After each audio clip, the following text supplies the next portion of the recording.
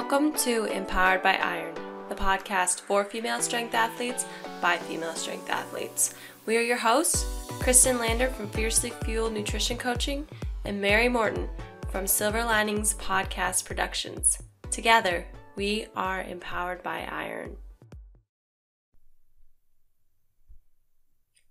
This week's episode is brought to you by Women's Strength Coalition. Women's Strength Coalition's mission is to build stronger communities through increased access to strength training. We envision a world where everyone has equal opportunity to express their voice and embrace their power. If you haven't already, check them out at womensstrengthcoalition.com and on Instagram at Women's Strength Coalition. They're doing some really awesome things with the strength community and Facebook group page, Women in Strength hyphen athlete resource. There's some great conversations on there with some other strong ladies. And finally, last week we dropped mugs. So if you haven't already got yours, go support Empowered by Iron and buy yourself some coffee mugs. We know you love coffee. We know you love caffeine at least. So please support Empowered by Iron and purchase a coffee mug. It'll really help out the podcast and we appreciate it. All right, to today's episode. I love I love when like first mm-hmm. names and last names flow like that. My like Janae Marie and middle names. Yeah, first names. I love I love when like first names and last names flow like that. My like Janae Marie and middle names. Yeah, first names and middle names Yeah. they flow. So Mhm. I just thought you did that on purpose, which you probably did. But anyway, actually, actually, the name is um, what my mom would have named me had I been born female. So that's where that came from. Awesome. your your mom Yeah. had a female name. My mom had a male Yeah. name. Oh, really? I was supposed to be Michael. Michael. Instead, Uh, your little brother's Michael. Right. Yeah. Yeah, my mom had different sets of names picked out for all three of us, and That is both male and female. So, That's probably the Yep. smart way to be. yeah. Okay. Well, we are just so excited for you to be on. We are. Well, We've got a bunch of questions for you, and we're hoping that there's no off limits because Nope. you're Um, one of the very few people who can talk about this in the industry, and so we are just fucking pumped. All right, awesome. Well, yeah, well, thanks so much for having me on. Um, I'm super happy to be joining you guys and um, honored that you're interested in my story. And I am totally an open book. So, yeah, feel free to ask me anything at all. That's awesome. Let me say, so I'm gonna just pretend that we started the podcast already. Let me Okay. say that trailer for Transformer. Oh, Oh, my so god, good. is Mhm. just like Aw, thank you. it pulls at your heartstrings. I want. Yeah. I thought it was already out, so I was like, "Oh, cool! I'll watch the trailer and then I'll just watch it." And I was like, Fuck. Yeah, no, uh, no, everybody's, yeah. I, I thought the trailer came out really well. I hope everyone likes the documentary as much. Um, it's, I just, I've just saw the final um, edit, what, like maybe two weeks ago. And um, you know, it's hard. It's it's hard for me to judge it because obviously they're trying to tell the story of my life, at least over the last two years. Um, there's definitely some things I really like in it, and I'm really happy with. And I, I thought they did a very good job um, showing the relationship between me and my boys, and um, and I think that's really important because, you know, we it seems like it's always the story of you know how the children are estranged from the parent when you're you know, transgender, and especially if you're transitioning, and it's always there's always a stereotype that the you know that you don't have a good um, relationship with your kids, and that you can't be a good parent, and that there's all these problems. And you know, with my boys, we're very close. They've known all their lives, and um, so it was important to me that they show that because you know I, I want that to be an example for other people to you know that are worried about their own children and stuff like that that yeah you can have an amazing relationship and everything can continue the way it was and and um and uh, and like and I just think that's important for people that you know outside the community to see that too because like I said there's just always that stereotype and I've heard that so much like you know, after I came out and on the forums and stuff, and people are talking about it, and, and people can say whatever they want about me. That doesn't bother me at all.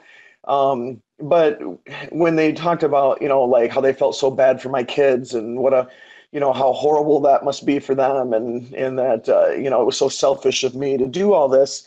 Those are the things that frustrate me because that's not the situation at all. And the reality of it is, my boys are all very supportive and we're very close, and this hasn't changed anything at all. Um, so that that was very important to me, and and it was just you know um, I tried to be very open about everything, and and uh, you know they just basically captured my life over the last two years, and and hopefully my my big things are. I, I hope that it inspires people like me, and I hope that it helps educate the people that don't understand. And you know, being that I kind of come from a different background than most of your trans women, you know, being this, you know, ultra macho powerlifter, ex-marine, and all that kind of stuff. Um, I'm hoping that it'll reach some people that otherwise, you know, wouldn't be interested in this kind of story.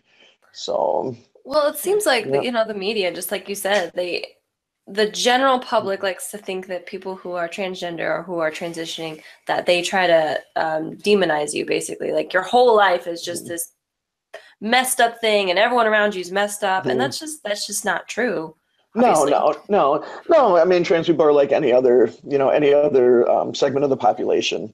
I mean, there's some of us that are, you know, really have our lives together. Some of us that don't, and and um, you know, everywhere in between. So, yeah, and uh, you know, but the, but the thing is, is that yeah, I, I really want to help try to combat these stereotypes of you know that we're all mentally ill and we're all perverts and you know it, it's and separate the you know the sex from the gender identity and, and all those all that misinformation all these myths that exist and and um, just just all of the stuff that has been perpetuated you know by the media and by different cultures and and basically all the stuff that's wrong. I'm just I'm a very open and honest person, and I'm just a big believer in the truth. And and even if the truth isn't always what you want to hear, that, that that's what I'm all about. So, you know, and yeah, everything isn't always roses, but I think there's just you know transgender people in general just get such a bad rap, and and there's so much negativity and misinformation out there. I'm just hoping that you know I can try to be a voice just for the truth, you know, if nothing else. Yeah, I think that people often um, they just because they don't understand something, then they just don't like it or they're afraid of it or whatever. And as soon Right. as, as soon as you can, you know, know someone who's gone through this or heard someone's story, um, you start to maybe understand a little bit better, and then with understanding comes acceptance. Exactly, exactly, and that, and that's the thing. Like, it, it it's you know I think that's I hate to say it's human nature, but it's very common that um, people fear what they don't understand. You know, just like you said, and and um, and a lot of people don't realize how many transgender people there are and how common it actually is, and and that's for a couple reasons. The, the biggest reason is because it, there's such a negative stigma surrounding um, being transgender that the people that pass very well often go into what we call stealth and they you know often move start their lives over and um, no one even knows they're trans. And i have lots of friends like that and i understand why they do that and because life is so difficult um, as an openly transgender person. And i mean it can you know affect employment affects friendships affects relationships everything. And being open and honest about that we're still at a point in our culture where it's very very difficult. And not only you know could it get you fired or but you know violently attacked. And you know you open yourself up to abuse especially for trans women. So because of all those things there are so many people that live in stealth and no one has any idea that they're transgender. And also and the completely opposite opposite side of that but also because of the ne- negative stigma um, you have lots of people that are still in denial or still fighting it which which i did for many many years.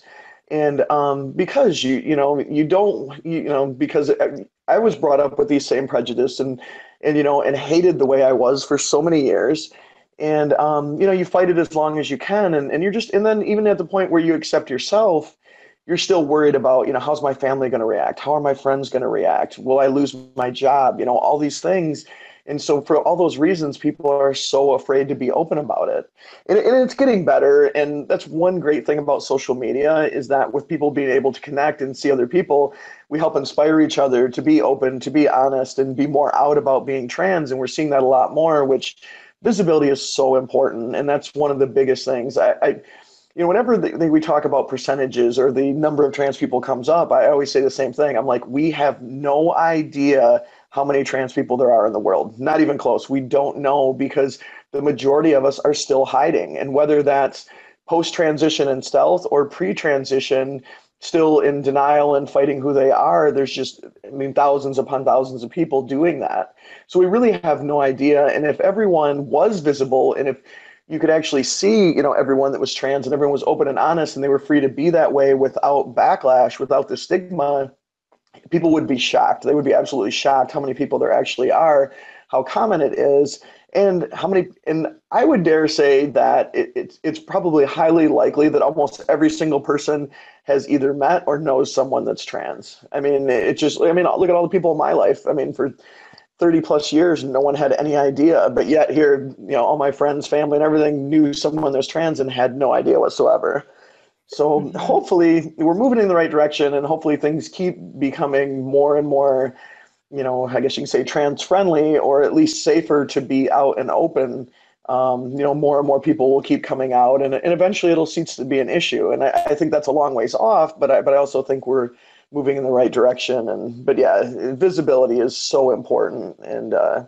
the more people that are visible, I think the faster things will progress. Yeah, that, that's totally true. There's um there's a, a, a woman that I follow on social media. She's um she's part of Donuts and Deadlifts. Um, I don't know if you know her, mm-hmm. Chloe Johnson. Oh yeah, yeah, yeah, yeah. I, yeah, I, I met her no at the. Idea.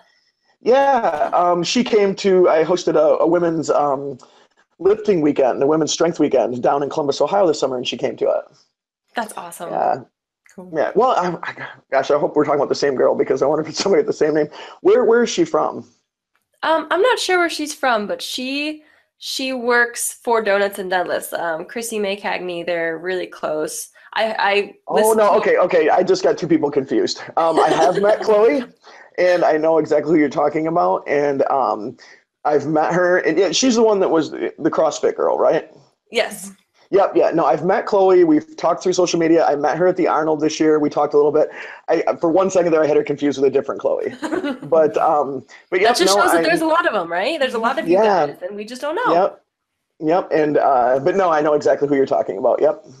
Yeah, I had no idea because I was like, uh, she was on a podcast and they talked about her being mm-hmm. transgender, mm-hmm. and I was like, no, what? And it just changed like my whole view of everything because I'm just like everyone else. I'm stupid and uninformed, and I'm getting better about it. But I was stupid and uninformed. You're just young. I'm just young and stupid. yeah. Let's take a step back oh. though. We sure. have not introduced you at all. So, hi, welcome to Empowered by Iron. We're so happy that you're on. well, thank you for having me. This everyone who's listening, we have Janae Marie Kroc.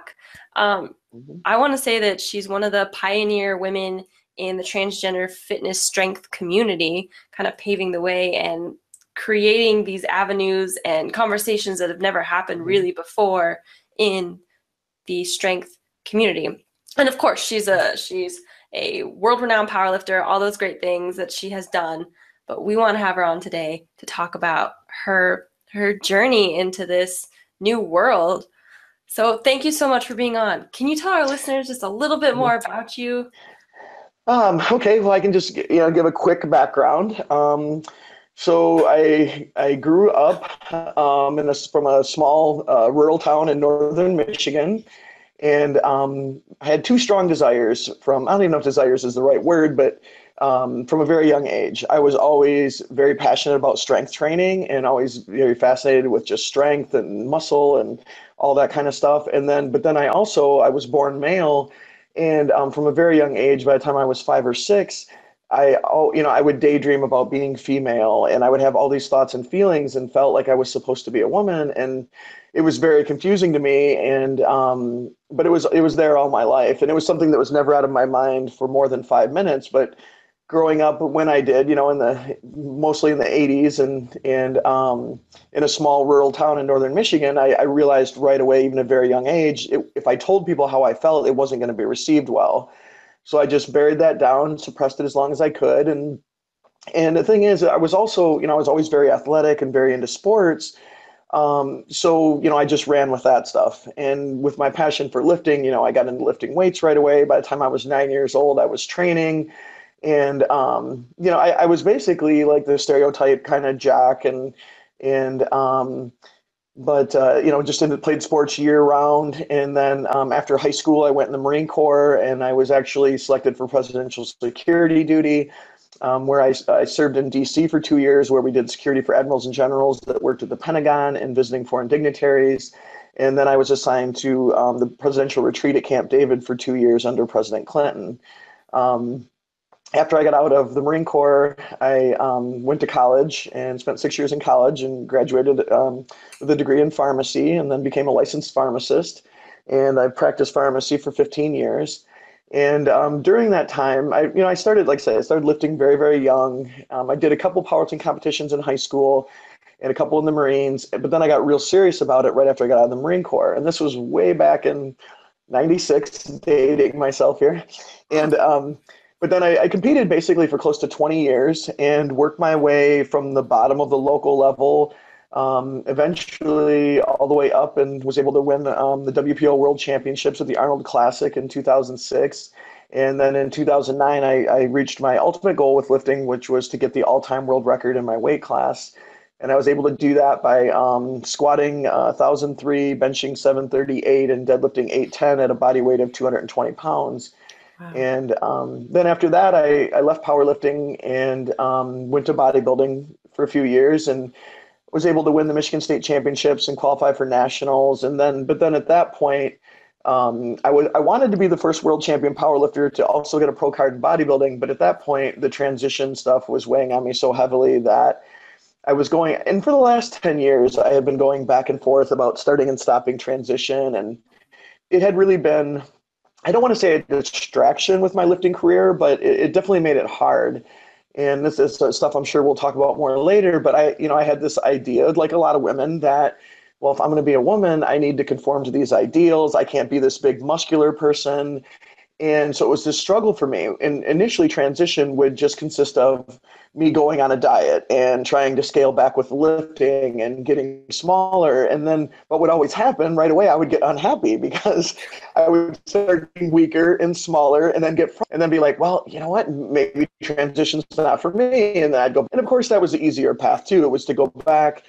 Well, and at this point, you know, I was having a lot of success with lifting. I was sponsored by Muscle Tech and I was in all the magazines and um, I was sponsored by um, EliteFTS.com and and um, I was writing for T Nation, and so I was having a lot of success in the lifting arena, and um, you know, and it was easy. It was easy to be that person. It was easy to be, you know, I was known as, um, you know, Matt, because my long last name, which is Kroczaleski, I, I was known as Matt Kroc, and um, so it became this persona and it was just so easy to you know because everything with that was you know was received very positive. And and I was and the crazy thing is um you know as far as lifting goes I was very I was ultra competitive. Well I'm still am. None of that's changed of course. But um but I was ultra competitive. I, I prided myself in working really really hard and I and I had a high pain tolerance. And I would do all these crazy things and put myself through crazy workouts. I, I, suffered a whole bunch of injuries, but was always able to recover quickly from them. And and so I was known as this like super intense, crazy lifter, kind of like this ultimate alpha male type. And um, so here's me the whole time being this transgender person, and then but then everyone's like, "Oh, Matt Kroc, such a badass," you know, and, and like all this stuff. So and I was carrying, and, and a lot of that was true. I mean, I, you know, I was I was you know, and was and still am a very strong person, and um, you know, and very competitive, and and so that powerlifting suited those aspects aspects of my personality. But then I was hiding all this stuff too, and and about well, it's been about a decade now. I started coming out to my close friends and family at first, and um, it was very, you know, it was very very hard, and and it was I, I was you know very worried about how everyone would react and the consequences, and and eventually um, i had been out in the lifting community for a while but then two years ago i was publicly outed. And the reason i wasn't 100% out is because i was waiting for my boys to graduate from high school. I, I didn't i was afraid of the repercussions they might have with their teachers and coaches and classmates. And um, i didn't want to put them through that. And even even though i had always been honest with them and they knew about me being transgender from the time they were very little i was afraid of how it would affect them if everyone knew so I had, you know, decided to wait to be 100% out um, until they graduated high school. But then two years ago, I got outed by a YouTuber. He made a video showing because I had had um, I had had private Facebook and Instagram pages for a while for Janae, um, and then my friends, you know, a lot of my friends and stuff were, you know, were aware of that and obviously interacted with me on social media but it, they weren't public. And you know, so somehow this guy found out and um, made a video basically showing both of my Instagram pages and telling everyone, "Hey, this is Matt Kroc," and and then just overnight my life got turned upside down. I mean, I was at work on a Monday morning and my phone started blowing up. And first it was my friends all telling me that I'd just been outed. And then it was immediately followed by texts and calls from TMZ and Inside Edition and all these people wanting interviews. And I was just like, is this for real? Like, holy cow.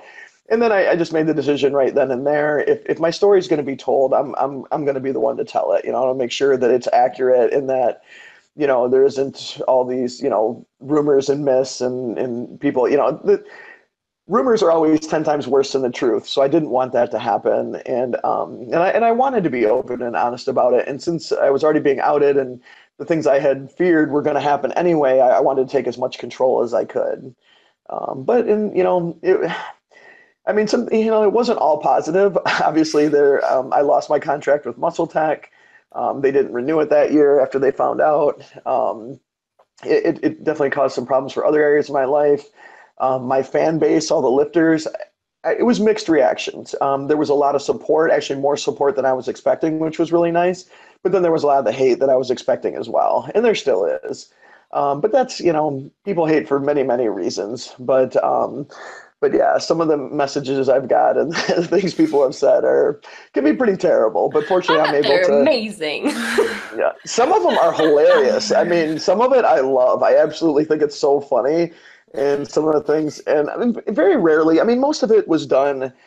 I, I learned early on one thing. I joke that my success in powerlifting prepared me very well for being outed as transgender because I was already used to being talked about on forums and and having people that had never met me hate on me and say untrue things and stuff like that.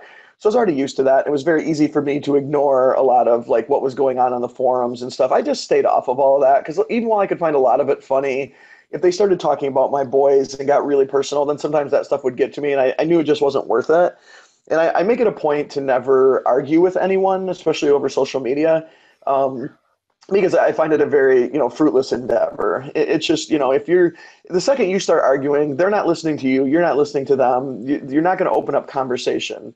Um, when I have opportunities, if people like message me privately or something, and even if they say mean things, I'll, I'll, try to be very civil and open a dialogue. And a number of times, a lot of times, I'm able to talk to them and, and get them to see a perspective they've never seen before. And then sometimes, if they do post something nasty on one of my pages, I'll, I'll a lot of times, like I said, I find them very, very funny. And um, I'll post a funny comment back, and a lot of time that catches them off guard. They're not expecting that. They're expecting me to be angry and upset. And if I can joke about it, then they you know they're kind of caught off guard and then that, sometimes that can open you know a, a, way to have some dialogue so it can be a really good thing but um but yeah it, it's just you know at this point i'm um just trying to take my life in a new direction I'm, I'm really getting into the activism and public speaking i've been speaking at colleges and universities and trying to schedule you know more talks like that um, you know we've got the documentary coming out um, I'm also working on a book, and um, so really just you know moving in that direction and, and trying. And I'm still involved with the lifting. I'm still coaching lifters and writing programs and diets and stuff like that. And I'll always train myself, although I've probably done competing, but um, but uh, I'll still stay involved in all the lifting stuff as well. So yeah, so that's where everything's at now. My my oldest son's in college, and my youngest two are both in high school and they're doing very well and and um, fortunately me being outed really didn't have any negative effects on them and it's actually helped them um, explain stuff to a lot of other people because it's opened conversations with some of their friends and, and stuff like that so all in all it's you know it's been tough but it, but really it, it's been a blessing in disguise so many things to discuss in that yeah so first when I mm-hmm. was doing a little bit extra research, because I, I, love podcasts and I noticed you were on a couple of them, so I listened to a few mm-hmm. of them. And some videos, some YouTube videos popped up, and one of them popped up was this guy ranting about, well, uh, Janae came out because um, Caitlyn Jenner came out as transgender. She's just trying to dr- get on the coattails. Like, really? Yeah. You think this person just was like, oh, okay, well, Caitlyn is doing it, so all right, I'll just do it and try to get famous. Like, really? Yeah, yeah, that's the absurdity. That that it's so absurd that anyone would put themselves through all this if they saw like, right.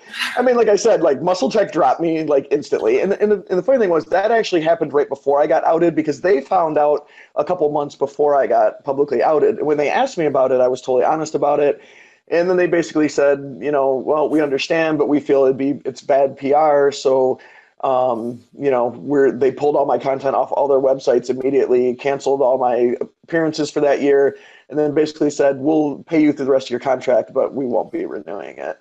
And you know, it was one of those things that I mean, while it was basically straight up discrimination, it's a little different in a lot of cases. Yeah, I mean, it was they didn't even make any qualms about it. Yeah, they're like, "Oh, you're transgender. Oh, we can't have that." Like, it wasn't even. Yeah, but but the thing was too, it was different than like you know being fired from like a pharmacy job or something like that because I was hired to represent their company. You know, I was hired as an athlete to represent their brand, and I felt well if they if they felt that that's not how they want their brand represented, that that's their option even though obviously I didn't agree with the decision and I thought it was a poor decision, I still felt like, you know, but that's their decision to make. And even though I feel like they're going to be on the wrong side of history, I, I understood that, you know, that's that's how they wanted their brand represented. And I understood about them not wanting to, you know, renew my contract. Um, and that, but that's totally different than someone having, you know, a job where you're not the face of a, you know, of products and, um, you know, being fired because people just don't like it. That, that's totally different. Right. So but, wait, um, are you um, are you telling me that a transgender person can be logical and rational because you sound like you're very rational about this, very confused. I try to be. I try to be. Yeah, you know, and that's the thing too. It's like we get this bad rap is all these, you know, whiny, um, neurotic, uh, you know, people that are, you know, just looking to, you know, complain about how people treat us and that, um, you know, we're, you know, it's that whole that whole stereotype, that whole stigma of what people perceive trans people to be. You know, there's a couple things that always get thrown out there. Um, we're mentally ill. We're all mentally ill. We're all crazy. Obviously. We're delusional. Yes, and um, and then uh, yeah, never mind all of the success and all the people that are trans that have done amazing things. I mean, there's you know directors Forget in Hollywood. That. Yeah, yeah. important. Nope, we're all crazy. We're just a bunch of nuts running around, and and we have our our transgender. We want to destroy the family unit, take over the country. And uh, me, me and my boys love to joke about that all the time. Oh my and, uh, god, uh, a transgender. Yes, yes, yes. The title of We're, your podcast. yeah, yes, yeah. the, the, transgender. Yes, we, we are going to destroy the family unit, and uh, we want to destroy all the men in the world. And I don't know. There's all kinds of crazy stuff I've seen. It, it's pretty hilarious, actually.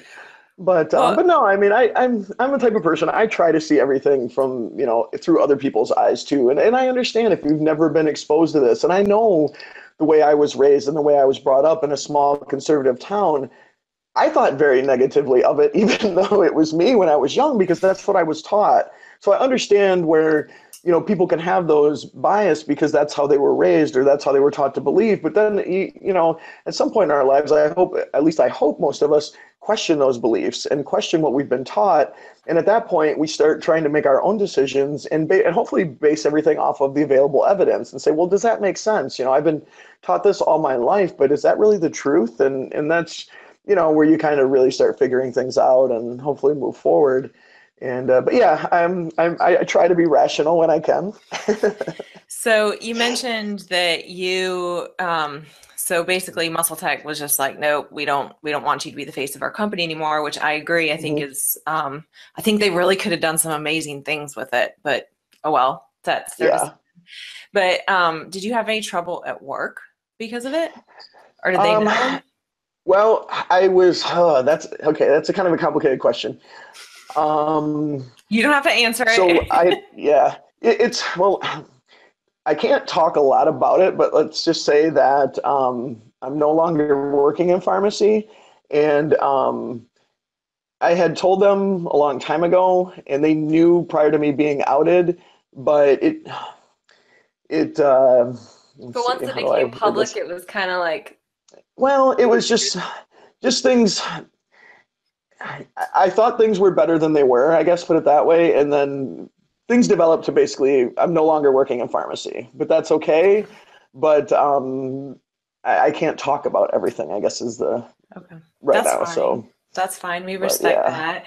Um, and then I just want to go back to this YouTuber that mm-hmm. outed you. I mean, what in the hell is wrong with this mm-hmm. person? Like, what? like, what? Yeah. What is wrong? Like, what is wrong with someone that makes them feel like they need to out someone. You know, I that's mean, a, for, for that's a crazy. that's a crazy thing. I had never heard of the guy before this, but I, from what I understand, um, he runs a YouTube channel that's kind of like a gossip channel for bodybuilding and powerlifting, strength sports, and so for him, I guess, you know, this was just a way to get views, and um, I mean, it worked because the, it went, it quickly went viral, but um, but yeah, I um, you know, the thing is, the, the thing that bothered me most, I didn't feel like he was super. I mean, obviously, I watched the video to see what was posted, um, but uh, he wasn't like super malicious. He he didn't do it in a real negative light. Like he didn't, you know, attack me as this horrible person or you know claim I was you know mentally ill and all that kind of stuff. He simply but he outed me, but was very kind of matter of fact. Like, okay, here's Matt's page, here's Janae's page um, you can see they're both the same person. It, what do you guys think? So it was totally just a way to get views and you know and get traffic to his channel. And I just don't think people like that realize you know what they're doing to someone's life. And and for me, like I said, I can handle anything. It's whatever. You can say whatever you want about me, and you can be as mean as you want. You can say nasty things. It's not gonna bother me one bit. But the thing that bothered me in his video, he pulled up some pictures that I had on my Matt page of me and my sons and this was part of the video and like had their pictures up and it's like oh here's here's him with his children. And I, and I was just thinking why did you have to do that? You know that that that really bothered me. Um, but um, and if I ever meet him in person I'm sure I'll have a few words for him. But uh, but um, but yeah I mean like I said I didn't feel like it was super malicious. It was just um, but doing but outing someone i mean that's just a horrible thing to do because you have no idea the effect you're having on their life. Unfortunately in my position it didn't put me in danger but a lot of people by outing them you could put their life in danger you yes. know? It, it's and that's what people don't realize like never ever out anyone. Um, even i mean like and that's what I've, I've told people too like maybe you realize someone's trans that maybe you bump into them like in the grocery store all the time or something like that but you don't know them and you don't know their background and but you want to be supportive. I, I, just always caution like the one thing be very careful not to out them. You don't know if they're out and you could be trying to be supportive and say something but maybe out them in front of like a, a coworker that could get them fired. You could out them in front of someone that you know maybe would you know be violent against them. You, you never know. So you have to be very very careful about that kind of thing and mm-hmm. and um people just don't realize like they don't they don't understand that um, you know the seriousness of it and the repercussions. And um, it's not like it, it's not like you know spreading some gossip about one of your friends which that's horrible enough and, and people shouldn't do that either. But but outing someone like i said you, not only could you cost them their employment and and um, but the biggest thing, you could be putting their life at risk. And, and, and I'm not exaggerating when I say that. Like some people think, oh, those trans people being dramatic again. And no, it, that's for real. I mean, trans women get murdered all the time. And it, it's not it's not an exaggeration to say that. And um, and I don't and that's one thing I want people to understand. Like you don't realize like being a non-passing trans woman, just existing can open you up to violence, and um, you know it happens all the time, and it, it's a very sad thing, and it's mostly due to ignorance and hate that stems from that ignorance. Um, but uh, but yeah, but bottom line, never ever ever out anyone because you don't know what could happen. Right. Well, and um, to that tune, there was that whole the whole bathroom debate um, and everyone mm-hmm. got all mm-hmm. up in arms. Um, I think that was mostly North Carolina, yeah. right? Which we're in South Carolina. But oh, like, like you better. already used the bathroom with a trans person mm. and didn't know it. And I promise you, they were probably more afraid than you would have been. You know, like yeah. it's not. Yeah. Well, the, yeah, the whole thing is they turned it into an argument that it wasn't. I mean, they, you know, the thing is they throw out there, and I had posted about this on some of my social media and stuff. Um, but they, they, throw the thing out there about the children, and nothing gets people worked up oh. more than you know if your children's is safety is threatened. And I understand that. I'm a parent. I have three boys, and if someone threatened my children, there's nothing in the world that would stop me from harming them.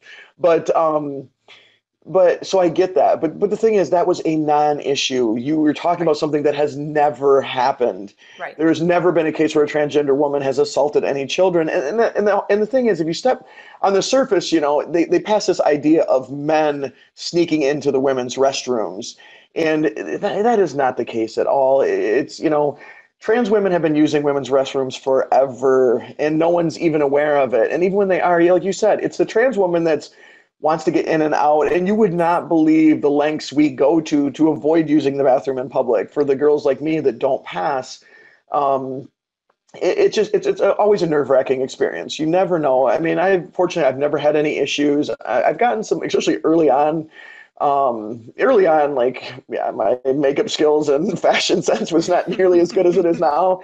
And um, I'm sure I was a sight to see. And um, I would only ever use the restrooms if I was with a group of my girlfriends, and there was a bunch of us. And even then, I tried really, really hard to avoid. But if you're out for a long period of time, sometimes you just have to do that.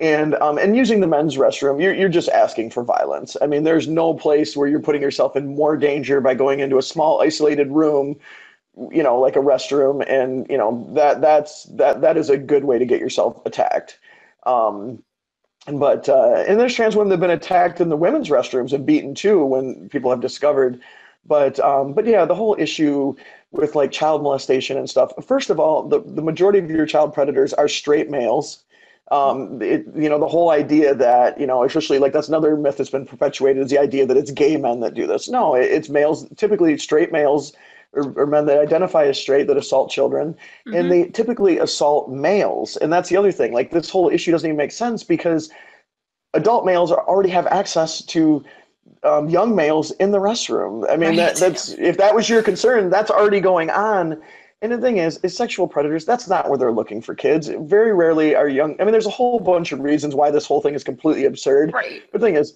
young children are rarely alone in restrooms it's not a place where predators are typically looking because anyone can walk in at any second. I mean, you know, predators are looking for kids at parks and, you know, they get involved Walking with jobs that gives them or something. Yep, home alone. Yeah, I was actually approached by me and my brother were approached by a man when we were young kids and he offered us candy and tried to get us into his car. I mean, that's what they do, you know, and and um, you know, walk around with puppies and things like that. But this whole idea of trans women assaulting children, it, it was completely absurd. It was drummed up by the people who, you know, are transphobic. And, yep. but yeah, it scared a lot of people right off the bat because you, you know, you threaten children. Oh my God, let's keep these freaks out of there. We got to keep our children safe. And, um, but it's stuff like that. It, it's the propaganda and the lies and, you know, all that. Unfortunately, a lot of people saw through that, but a lot of people didn't. And, yeah. you know, and, it scared a lot of people. And i understand on the surface how people could be like oh my god yeah my kids oh no i don't want them in there. You know i got to keep my kids safe. I get that but that's where we need to step back and look at everything from a rational perspective and say is this really an issue? You know okay how many times has this happened? You know what are the cases? And, and the amazing thing in this it's never happened. Never. and not once. And um and then, um, you know, but but then we want to talk about there's more U.S. senators have assaulted people in restrooms than trans women right. have. Oh, know, but uh, but where's the where's the ban for the U.S. senators in uh, restrooms? And uh, so yeah, yeah, yeah. So it, it's just it's absurd, and the real threat to our children. There there are threats out there, but this isn't one of them. You know, right. so. If anything, it just gave those fucked up people an idea. Like, come on. Right. Gave them an idea. Yeah. They had been doing this for years. Yeah. Um, it's yeah, crazy, crazy. So you said something um, in one of your Instagram posts a while back that I, I just really, really spoke to me, and I think would speak to a lot of our listeners. So I want to, I just want to kind of paraphrase part of it. But mm-hmm. you said, um, "Don't let anyone make you feel like there's something wrong with you because they don't have the ability to understand you." And I think that that mm-hmm. is something that is very true for trans women and just women in strength sports in general. Right. We sometimes mm-hmm. get a lot of flack too, but um, that was just such a powerful statement. Thank you. Yeah, that's just something. I mean, you know, that that's one thing. After after I was outed and I, I came out publicly and started to getting to know a lot of the women from the strength world a lot more. Um, the funny thing is, I've been in the sport, you know, for a couple decades, and I, and I knew some of the strongest women, but we I was but I was never really close to them. You know, we, I would see them at competitions, and I was sponsored with some of these girls, and I, and I would even say I was friends with a handful of them but not in the way like girlfriends are friends. You know, mm-hmm. I, I was never able, and there was times I really wanted to open up to some of them, and but I knew I'd be outing myself by doing so. And then some of them did know, but it wasn't like we were close enough to really talk about things. But then once, but once I was fully out and I started getting to know a lot of these girls better, I started reeling like, oh my God, they struggle with a lot of the same things I do, which mostly being wanting to be big and strong, but yet maintain your femininity as if they're mutually exclusive. Oh, you can't be a woman if you're big and strong, or you know, it's somehow the eh, the opposite of, of being feminine, which is completely absurd. But yeah, and then you know, and this idea too, like with my post, and, and like I said, never let anyone make you feel like there's something wrong with you because they don't understand you it's because yeah, I mean, you know, you, someone sees a muscular woman, that's the first thing they say? Oh, she looks like a man, or this or that. Well, you know what? People are going to hate on you for a lot of different reasons, and never let that affect you. Don't let it determine what you do or how you live your life because you're worried about what other people are going to say. Because other people are going to say what they're going to say no matter what. And I and I can tell you, even from when I was the world champion powerlifter, ex-marine badass that all these people loved other people still hated me. You know, there was still like, there's still going to be hate, and people would come up with ridiculous reasons or, you know, even lies and stuff. But th- some people are always going to dislike you. That's just it's human nature, and it's going to happen. And if you live your life trying to please other people, you're going to be miserable. And not only are you going to be miserable, you're going to be unsuccessful anyway.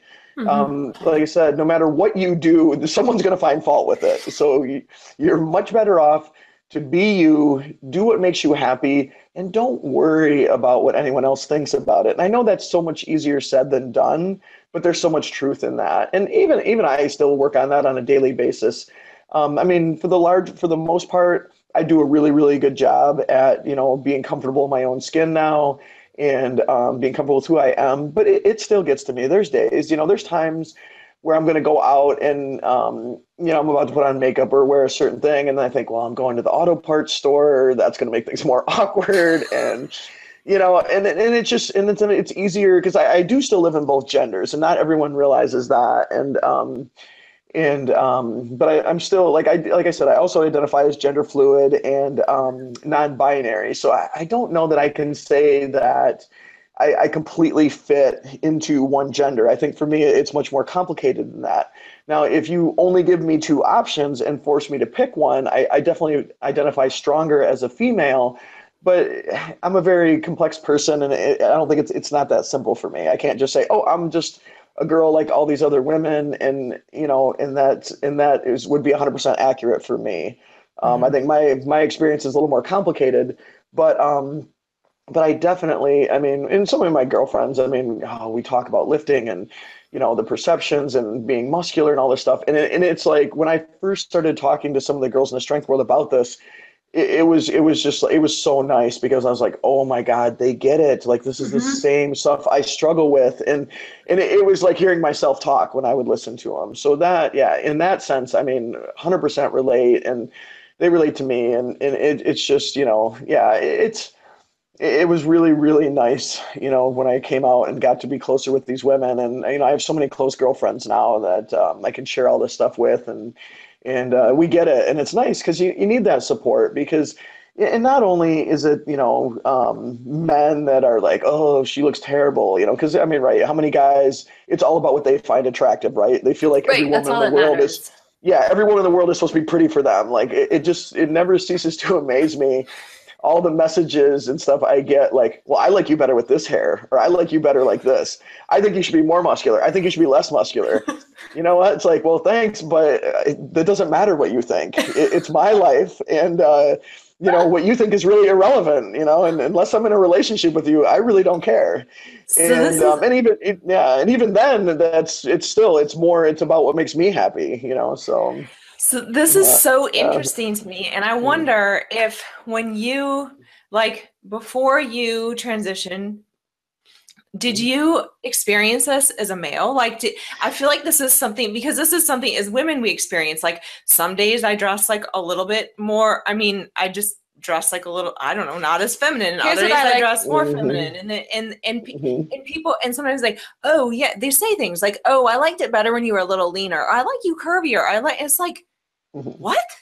Like what, what, what? gives you the right to say that? Like, yeah. Yeah. I mean, it's like would you something... walk up to yeah, would you walk up to some guy at work and be like, dude, I liked you so much better when you were 20 pounds lighter. Like, right, you know, yeah. like you know, who would say that? You don't even think to say that. And but with women, it, it's just like, yeah, like we're like our job is to look attractive for them and they and a lot of guys don't even understand that they're that what's wrong with it and what they're doing and it, it's just ridiculous and, what do you and, and the other thing too is and uh, and to get answer your question before we keep moving forward here um, no as a male i mean I had things happen. I, I, was, you know, I was, I had been sexually harassed a few times and stuff by both men and women, and um, but that's totally different than being harassed as a woman, and it's and it was totally different um, the way I'm treated as a woman versus how I was treated as a man. Um, it, it's and that's what people don't understand. Um, because uh, oh gosh, I, I read something earlier today. I'm trying to remember exactly how it went because they made a really really good point but I mean, there's a couple factors that are completely different. I mean, obviously, no one should be sexually harassed. And even as a male, when I was harassed, it was extremely uncomfortable. But one of the big differences, I never felt, you know, physically um, uh, threatened. I, I, never, I didn't feel like I was in danger. Whereas a woman, that it's completely different. And um, and, and also, it's just um, as a woman, how you're expected to handle that is completely different than as a male and uh, it's a completely different experience. And and then no one, if a, if a guy is sexually harassed, no one asks, "What were you wearing?" You know, what did you say? You know, why? You know, and no one's blaming them for it. But with women, the second that comes up, somehow the woman who's who's the victim is is being blamed. And as if you whatever clothes you chose to wear gives someone the right to treat you that way. And, and that's completely absurd. And unfortunately that's opened up a lot more conversation about those things and it's becoming a lot more talked about and i think people are, are getting it but it's a completely different experience. And um, but yeah it just it it really opened my eyes after i was first outed because then all of a sudden I had all these messages, and, and it was always private messages and stuff. Um, but all the, yeah, of course, and I, am sure you guys have seen all the same stuff. But yeah, you would not believe the volume of dick pics that made their way to my inbox the um, which I, I never understood. I still don't get that to this day. Like, what goes through a guy's head that thinking by sending you a picture of his penis is going to be somehow like you're going to be like, oh my god, thank you, that was so awesome. Like, like, like that was the yeah, best yeah. thing I've ever seen. Like, yeah, like it, it's just so weird to me. And um, even though, like you know, I said, like I lived, you know, as a male for the first three decades of my life, there were a lot of things I didn't get. Um, I, I really didn't understand how most men related to women and um, relationships and stuff. Even though I was attracted to girls, um, I, I, didn't. I, I never felt comfortable in the male role. That was very awkward for me, and um, and I couldn't understand when other guys would, you know, like the locker room talk. I, I could never relate to that. I couldn't understand it, and to this day, I still don't. and um, but um, but so in a lot of ways, like like I said, I was fine with the sports and doing like quote unquote guy things, which really, which baloney. I mean, you know, what, what's a guy thing? Oh, sports, lifting, bullcrap. Lots of girls like that stuff too, you know? Yeah, yeah. Well, that's a guy thing, definitely.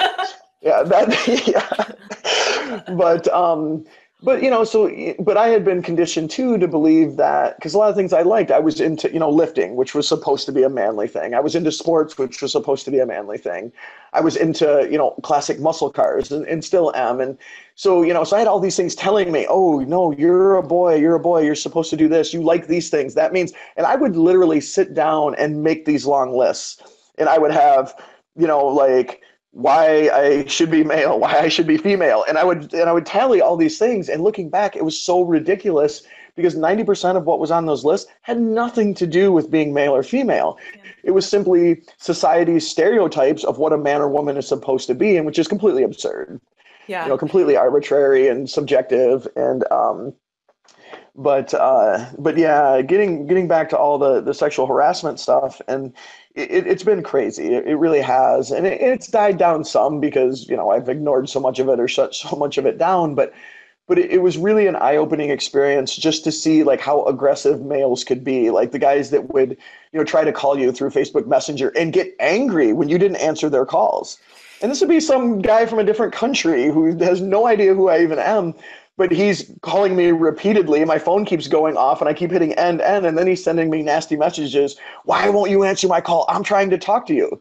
And I'm thinking, dude, I have no interest in talking to you whatsoever. What Why would you fuck, man? Yeah, like what is going on?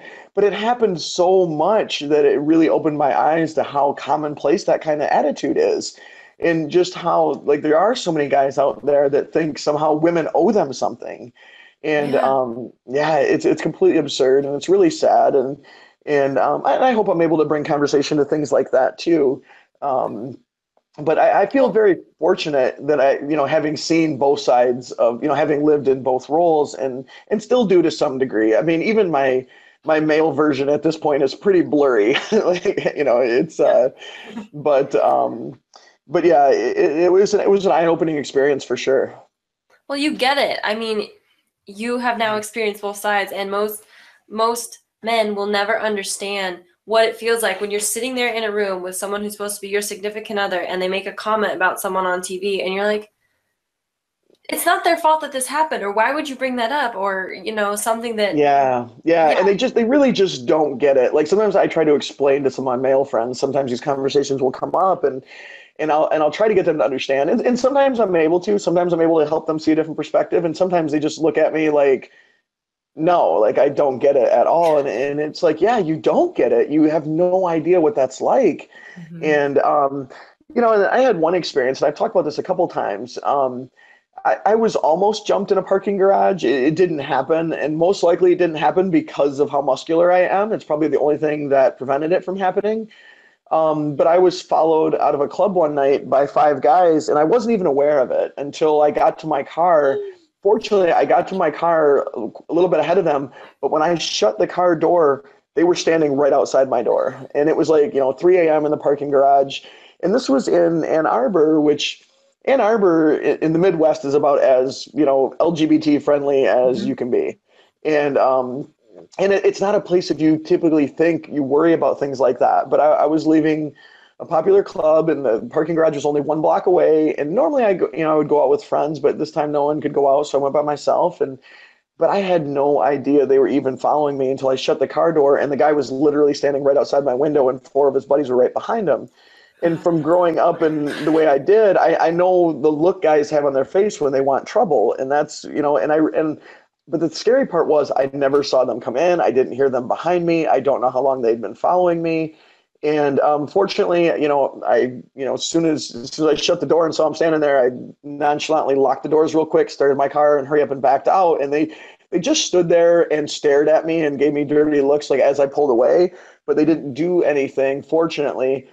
But um, but the thing was, prior to that, especially being a big, strong, muscular male, I had never ever worried about my safety anywhere. And I had, you know, I had spent time when I was in the Marines. I was in Southeast DC, and you know, I'd been in a lot of big cities with not so nice neighborhoods, and and um, never ever thought about those things once. And um, and then uh, you know, hiccup to me like how I had to be much more aware of my surroundings as a woman, especially as a trans woman. That now I'm much more of a target than I've ever been in my life. So that that was a, a real wake up call for me.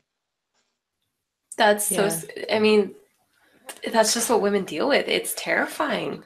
Well, and I Mhm. think probably mo- mo- more targeted as a as a trans woman for sure. You probably get it multi, you know, you probably get like a hate angle that we don't necessarily get. We just get a angle of like, hey, I want to overpower someone or whatever. But Right, right. Yeah, and, and yeah, yeah, there's some truth to that because it is. It's the anger. And like I said, I saw the look in their eyes and it was the um you know, it, it was the they were looking for trouble. And it, it was, I'm sure, like, I mean, I was wearing, it was a warm summer night. I was wearing this really cute dress. It was spaghetti strapped and knee length, and I had like, you know, five inch heels on and not optimal fighting gear by any means No, and um, but um, but I'm sure with my body and everything, I stood out right away, and and they realized, you know, that that I was trans. And like I said, I I really think the only thing that prevented them from doing anything was they also saw how muscular and big I was, and were probably kind of debating like.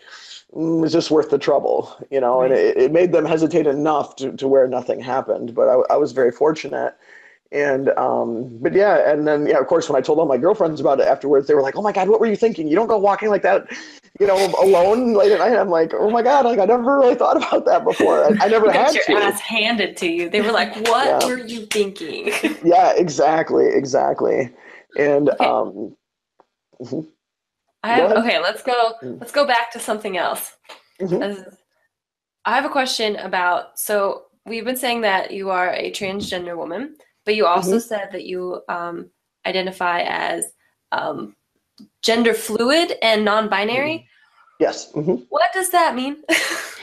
okay, so um, yeah, it's complicated, and a lot of these terms have really just come about the last couple years, and and it's really just a means of ways for people to describe themselves um, because it's not. You know, for someone, you know, um, a lot more people are becoming familiar with it, but cisgender just refers to anyone who's basically comfortable with the gender they were born. So their sex and their gender identity match. And um, so for someone who's never ever thought about it or never questioned anything, it, it, you know it all seems really confusing. And the other thing is, it's not as simple as um, you know, especially for me and for a lot of people. But yeah, I'm not the stereotypical girl trapped in a boy's body. It wasn't that simple for me, and that's uh, why I've struggled with a lot of back and forth and you know, and you can describe it a lot of different ways. I mean, in some ways, I I, I can relate to guys, but then I wonder, well, it, am I really relating to guys or I'm just a really competitive athletic girl that was able to relate to guys that way? I, I don't know. You know, it's hard to say because I was socialized as a male for three decades. Right. So it, it's hard to say whether, you know, really I, you know, um, there are differences in the male and female brains and they and they've found a number of differences and there's we still need a lot more research in that area but i, I know i'm sure certain my brain has some of those differences because obviously that's why i never felt comfortable in my own skin mm-hmm. um, and you know have all the feelings that i do and and um, but uh, but basically to answer your question so gender fluid basically means anyone that moves along the gender spectrum. And and the thing is, this and you were just mentioning a little while ago, like some days you feel like dressing more masculine or some days more feminine, and and that's totally it for me too. And and it's another thing that makes it more complicated for me because I'm still very muscular, even though I'm not nearly as much muscular as I used to be. And, and that's something I question a lot lately too. It's like, why did I give up all that muscle? Do, did I really need to? I, I was trying to conform to society's expectations of what a woman is, and after I mean I lost so initially when when I was outed, I decided that okay, I'm gonna transition now, like the whole hiding's all done. So okay, full steam ahead. I, I went from 272 pounds all the way down to 200, which wow. 200 still a pretty muscular woman, uh, you know, by most people's standards. But I lost 72 pounds of muscle, and then I got down there, and then I started getting really unhappy. I lost so much strength. I lost so much size and yeah, I mean, there was things like, oh, I can pull this outfit off, or you know, this outfit that I couldn't before. But then again, I couldn't. Why? Because I didn't see myself as what society told me I'm supposed to look like. Mm-hmm. So I, I couldn't wear that dress because my arms were too big. Well, who says what's too big? At yeah. what point does a muscular arm become too muscular? You know, it, it's completely arbitrary, and, it, and it, everyone's opinion is totally different and um, so now like now you know i still think about like well gosh do i i mean and, and i've gone back up some i mean right now i think today i'm sitting around 228 pounds and um, but i still think like gosh i miss being stronger and bigger than i am but then the bigger i get the harder it is to blend in when in society and it causes more issues and it's not as much that I'm not comfortable, but there, there's still some of that too. I mean, I, you know, I do the whole thing too. Like I put on, I'll put on one dress. Nope, take it off. Nope, not wearing that today. Change this outfit, change that outfit. But it, it's so hard for me to separate with what I feel good in versus what I feel other people will think I look good in. Yeah. And, you know, and it, it just, and it complicates my life. And, and it's just like, especially, in situations um, like if I'm pulled over by the police or um, going through security at the airport, I'm passing through customs, traveling to another country, then it's always like, oh, you know, how do I present today? Do I try to butch it up and look more male? Do I do I try to go more ultra femme? Would I have a better chance of passing that way? You start thinking about which way is going to cause me the least hassle. Which way am I likely to be the least harassed? And and I've been lucky. I haven't had any real bad experiences yet. I, I had one police officer question my ID because in, in my IDs, you know, I, am presenting very feminine and I'm wearing makeup and and um, I was um, pulled over this summer and um, no makeup on, looking very very masculine. And um, when I handed him my ID, um, he he almost like laughed at first and he's like, "Come on," he's like, "Whose ID is this?" And I'm like, "It's mine." And and um and he's like what? he's like you cut your hair and then he's looking at it closer and and I, and then immediately said I said no I'm I'm transgender slash gender fluid I said I, I kind of live in both gender roles and I'm like, but it is me. And I'm like, I have an older ID if you want to see it. And then, and at that point he was like, no, no, no, I, uh, that's fine. Um, but you know, I was, I, I was very worried before that ever happened that I would, you know, I would get a cop that's transphobic or something like that would cause me a lot of trouble because that has happened to people. And, um, fortunately, I haven't had that experience. Most of my, I mean, I've been, you know, I've been pulled over a handful of times in the last couple of years usually for speeding. I, I have a little bit of a lead foot. I was and, like, what are um, you doing, Janae? yeah, yeah, yeah. Well, Janae likes fast cars, and, uh, and um, Kristen likes fast cars too. oh, awesome! And uh, like talk about talk, talk about that later. and uh, oh, I got I got pulled over three times in one day, long, long, long, long time ago, and actually got out of all three tickets. But uh, you but, naughty yeah. people. Yeah. Bad. But um, but uh, but yeah, but going through like I'll be traveling to Austin um, next week for the film festival, and it is it's a concern. Like I, I think a lot about how am I going to dress to go through TSA, and especially when I'm traveling to some place like Texas, even though Austin is very LGBT friendly.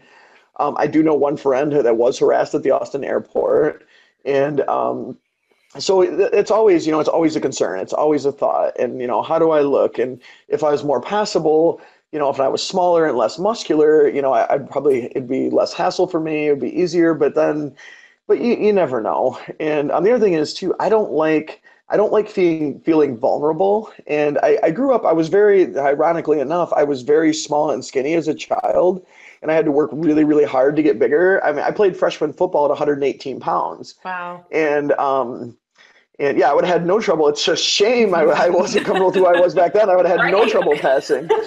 and uh, I had this little baby face and almost no, you know, very. I wasn't hairy at all, and and um, but uh, but yeah, I worked really really hard to get big, and um, but when I was small and skinny, I, I, I didn't like feeling vulnerable. I got bullied. I got bullied a little bit, like when I was younger, especially like in junior high. And it wasn't anything horrible, like a lot of people go through, but it was enough. There was a couple instances where I was threatened by bigger, older, stronger kids, and it scared me, and, and I hated it, and I hated feeling vulnerable like that. And I, I hated not, you know, feeling like I wasn't able to protect myself or knowing if something happened, I was probably going to be on the losing end of it.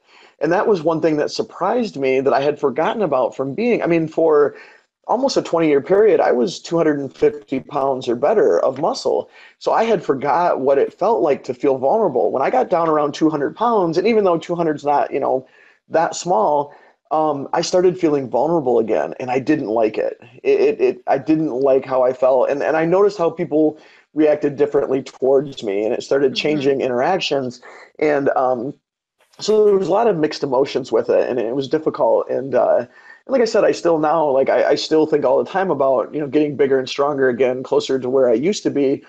You know, but that you know tends to complicate my life more. But then I, I don't know. It, it's it's complicated. And I love being big and strong. I love training. Um, but it, yeah, it's it's not easy being a being a big girl, right? right.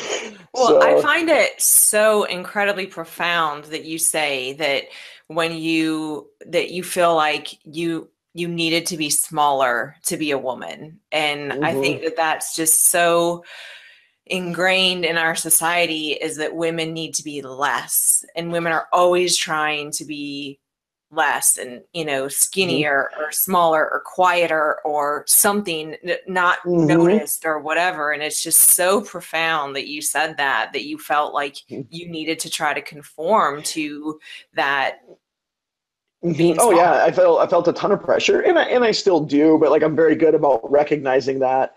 And mm-hmm. um, but no, and, I, I'm glad you used those words because less is exactly it. And that was one of the things I came to realize and question was why do I feel like I need to make myself less to be a woman?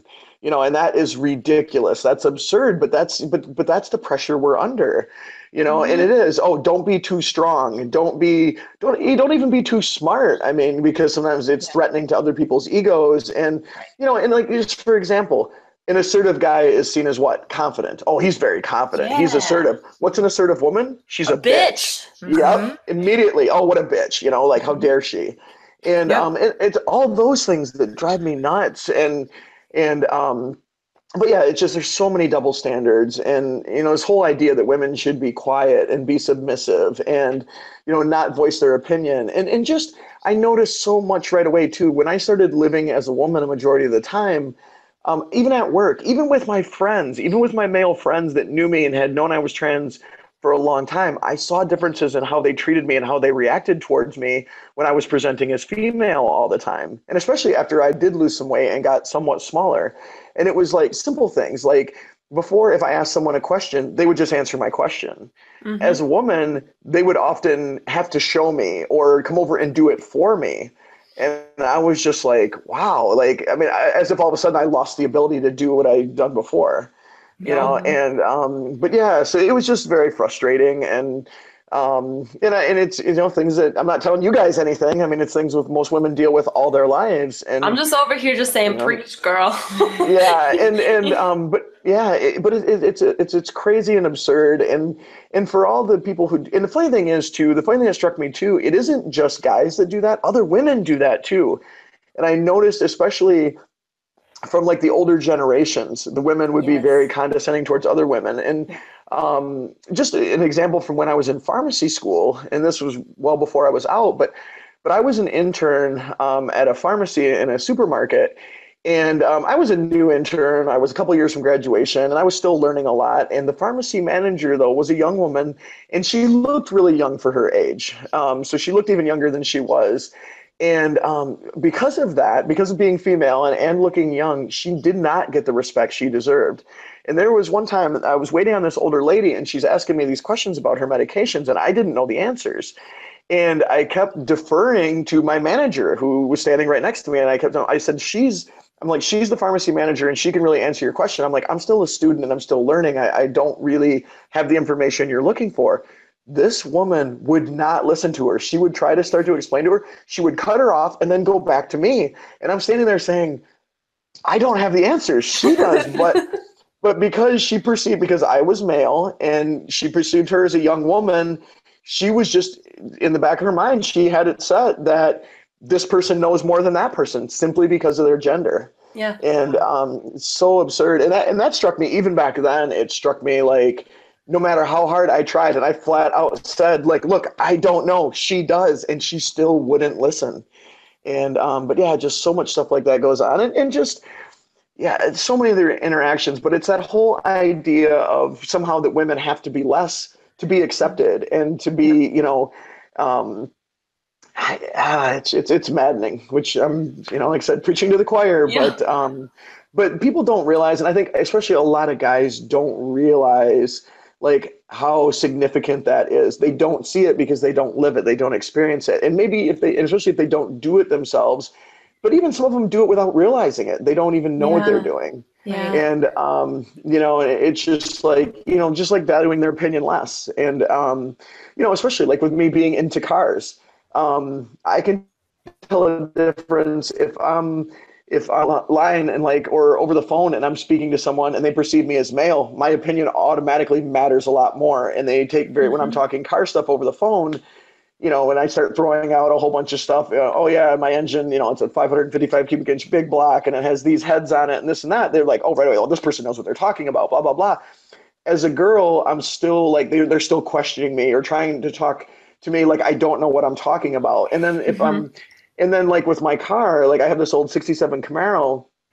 Oh. If I'm out driving it as a woman, it's oh, is that your father's car? Is that your oh. boyfriend's oh. car? Mm-hmm. Like it, it's it's crazy. Or people look at you just confused, like what is she doing? Or you even you know even the idea that oh what a waste, you know like and it's just it, it is it's so crazy and um yeah so it's just like yeah i took my car to the drag strip this summer and i and i was so worried about like how people would perceive me that i went as butched up as i could. I took off all my nail polish and you know and looked as manly as i possibly could which me being as muscular as i am isn't all that difficult.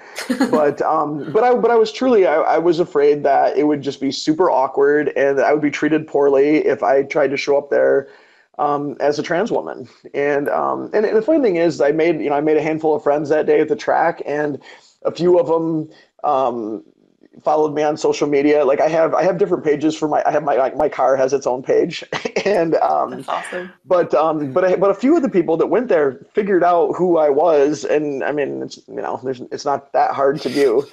Um, Yeah. but, uh, but, um, and a few of them sent me supportive messages, which was really nice because I, I wasn't sure how people would react, but, but it, yeah, it's one of those things that just as a woman, and especially as a trans woman, you're just treated totally differently. Where if I, I walk in, especially if, especially being a large, muscular white male and someone who gets perceived as straight, it's like going from getting all the privilege there is. Um, Right. Well, minus the rich part. I guess rich is the only Sure. one I, am not, I'm not part of yet. But um, but then going to be at the opposite end of the spectrum, being an you know an obviously non-passing trans woman it, it, it's like I feel very fortunate to experience life from those different perspectives because it's opened my Yeah. eyes to so many things.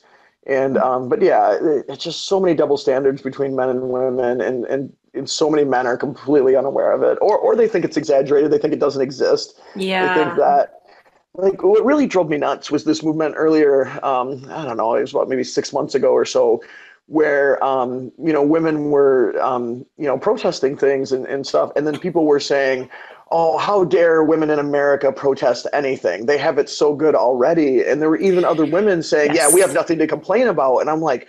Oh my God! Are you kidding me? I Like, saw that. hmm I know exactly what you're talking about. Was like, Yeah. what? What? Yeah, yeah. I mean, yes, we have it better than other parts of the world. Right. It's not Saudi Arabia, um, Right. but uh, where women basically have the rights of a pet. But like, it's Barely. you know, barely. Yeah, yeah. And um, but it, but still, it is as far from equality goes. It's so far from getting there. And that that's and that's the thing. Like I said, I'm all about truth and and just equality. You know, like I, I'm not you know that's another thing too. People think that um, you know feminists, another group that gets a horribly bad rap that doesn't deserve it. And yes, there's some extremists, just like with any other group. But the idea that all feminists are man haters and they're looking to you know overthrow, you know, take over, and they and they want to feminize all the men in the world and all this crazy stuff. It's like, look, all mo- the majority wants is just equal treatment. I mean, it's not that difficult, and and I can't understand anyone that doesn't you know, it doesn't see why everyone should be treated equal. I mean, sometimes you'll be like, well, you know, men and women are just different, and you know, the man should be the head of the household and everything, and all that baloney. And it's just like, really? Like, I mean, it, it's just everyone. I just, you know, equal opportunity, equal treatment, equal rights. It's like, it's not that hard. And and how how do you how do you build a case to to not be for that? I, I don't understand that. Right. Well, and going back to the car thing, you talk about taking your car to the drag strip and, you know, going butched out, as you said. I've I grew up with cars. Um, everyone in my family, all the men in my family, or most of them, have been in the car industry, and my husband's really into cars, and so I'm pretty into cars. I like cars a lot, and I do. I find that even if I go to a car show, I will dress. I will not dress very feminine because it's like perceived like if you are there you're like supposed to be if you're a woman you're supposed to be like eye candy or something or Mhm. like a trophy wife and i i have no interest in doing that like i'm actually there because i like Mhm. the cars and so i i don't i i will dress you know in like jeans and tennis shoes and like whatever shirt like i will not dress very feminine just because it's like this weird otherwise you're just Mhm. like looked at as like you're there as an object to be looked at with the cars i don't know it's really bizarre Right. and it's something weird that you t- kind of talked about that too even with your lifting like you talked about these qualities that you had um, that made you like a good lifter like you're strong and you're like alpha and you're badass and and but those are not male or female qualities and they don't need to No. be um, No, and, and yeah, and it's such a shame that, that those are assigned as masculine qualities, being competitive or being a strong person or having high pain tolerance and you know being just quote unquote tough. And and just look at our language. You know, Mhm. when you know what do people when when someone's trying to encourage someone to tough something out, what do they say? You need to man up. And if you're being weak, what are what are you being? You're being a pussy. Being a pussy. pussy. You know, yeah, it, or you know, or some other kind of derogatory, you know, feminine type term, and Obviously. um, yeah, and it, it's just it, it's absurd. But the whole idea that women are weak and need to be submissive and passive, and it's complete bullshit. Strength has nothing to do with gender. There are very there are very strong men. There are very weak men. There are same thing with women, and it, it yeah, there's just so much that's assigned to gender that has nothing to do with gender, and it's so Yeah. frustrating. And like you said, but the women feel all this pressure to act a certain way or look a certain way or be a certain way because they've been conditioned to believe that's how they're supposed to be. And the worst part is, is you see women turning on other women because of that. A muscular mm-hmm. woman walks by, and then a group of girls are all whispering, "Oh my God, look at her! She's so manly," you know. And then that's the worst thing is, is then we're attacking each other, and um, it, it's just it's absurd. But it, it's yeah, I mean, gosh, you, we could talk about this for days because it's so yeah. prevalent in so many ways, and and um, but yeah, and that, and that's what I don't want to see. That those are the things I want to see change. I mean, people just have to think about: is this if you have daughters, is this the kind of world you want them to be in? Is that how you'd like them perceived? And especially, I want to ask the fathers out there that treat women that way, or you know, catcall a woman when she walks by, or you know, or use some demeaning terms, or you know, do all these things, or you know, value women's opinion less, or think that they're supposed to be submissive or weak. Is that what? Is that how you want someone treating your daughter? Is that the kind of world you want them to grow up in? Would you want a guy to treat your daughters the way you treat other women? I mean, it, it's things you need to stop and think about. And um, but yeah, I mean, I think, but I think we are making progress. I think things are moving in the right direction. Um, not fast enough, but um, but uh, but yeah, it just it, you know, unfortunately, it's being talked about. It is becoming more, and there's always a pushback when things like this come up initially. There's always a pushback before real progress is made. And um, I, I mean, I definitely think we're getting there. And um, but it's just we're so obsessed with gender. And and um, I mean, what's the first question everyone asks when someone's pregnant? Boy or girl? Why is that so important? Why is that the number one question, the most important thing anyone has to know?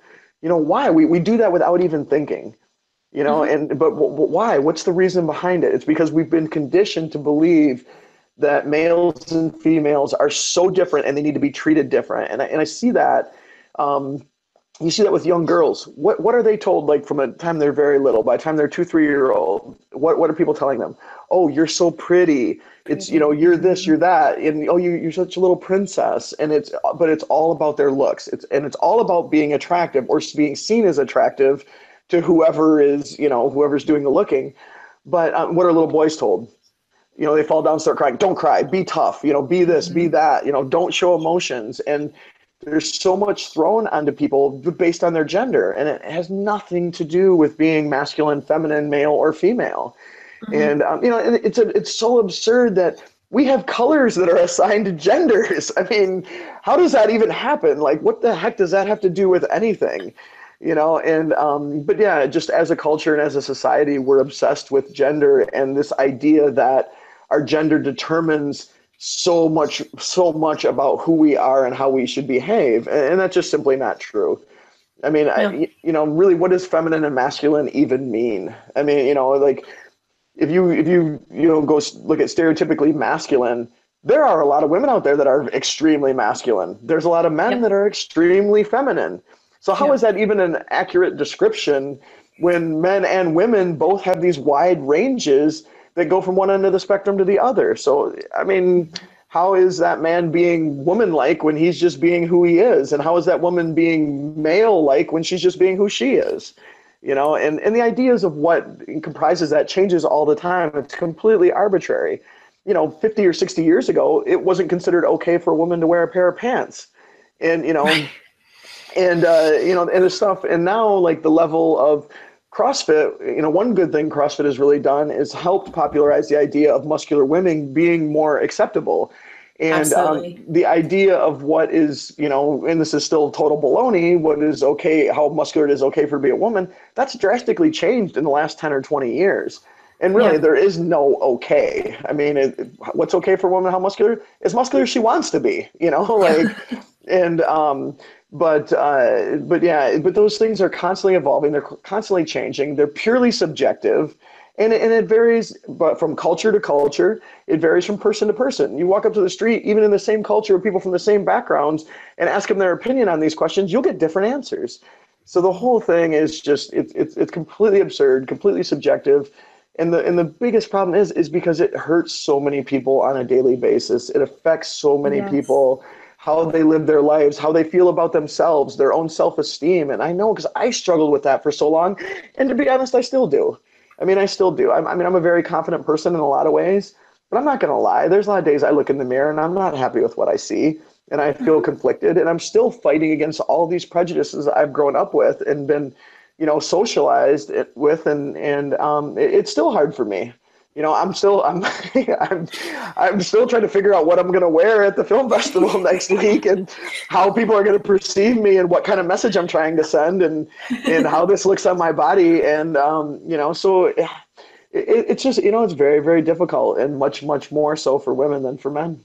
Yeah. Well, uh, join the club, girl. I mean, yeah. shit. But I want to. So what you're saying, the whole "be less, don't be less, be more" sort of thing. I mm-hmm. think that a lot of men and a lot of women in society very much fear the female strength community simply mm-hmm. because mm-hmm. we stopped caring. We're just a dangerous group of women together because we're like, yeah, girl, go be fucking strong. You want to do a bikini competition? You do the fuck you want to do. It doesn't matter. Right. If you love you, that's all that matters. And I think that that's mm-hmm. as that is growing, it's terrifying a lot of people. But then a lot of women are jumping on board. They're like, oh, you mean I can be me and it's okay? it's like this new concept to people and it is insane to me that that's where we are in society mm-hmm. yeah it, it, it's it's always funny how um, change can be so threatening especially when you take a group that has been marginalized or has been treated as less and now they're starting to you know hey no no we're just i'm just as good as you are and it has nothing to do with my gender well, that's threatening. And I, and I made a comment, um, well, threatening to a lot of people. And, or, but I, um, I had, I had heard this somewhere else and, and I don't remember who said it or where I heard it. I, I actually, I read it somewhere, but, um, it said when you're, when you're, um, when you're used to privilege, equality can feel like oppression. And that's yeah. like, you know, so that's people find it very threatening because they're used to being you know treated with all this privilege and with these special things and when, when when another group that they're used to being seen as more than all of a sudden is saying hey no we're equal and and getting that they find it threatening. And they feel and that's in your huge ridiculous arguments you know and all these groups springing up and you know save men and and um and uh, oh, and I've had a couple conversations with my buddies about that stuff, and you know, and just this idea that feminism is destroying the world and they seek to you know er- eradicate the manly man and and all this stuff. And and um, but yeah like i said when you're used to privilege equality can feel like oppression. And especially when people don't they feel like they're losing something even though they're not. And um, and it just takes being rational and being open-minded and realizing like hey yeah allowing you know um, another group to be treated equally there's nothing wrong with that. It, it's not going to take anything away from someone who doesn't belong to that group.